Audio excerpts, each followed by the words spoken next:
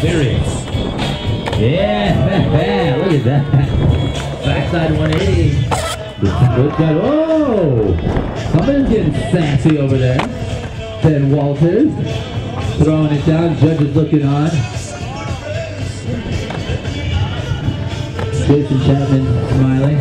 That usually means he's either happy or he's up to something.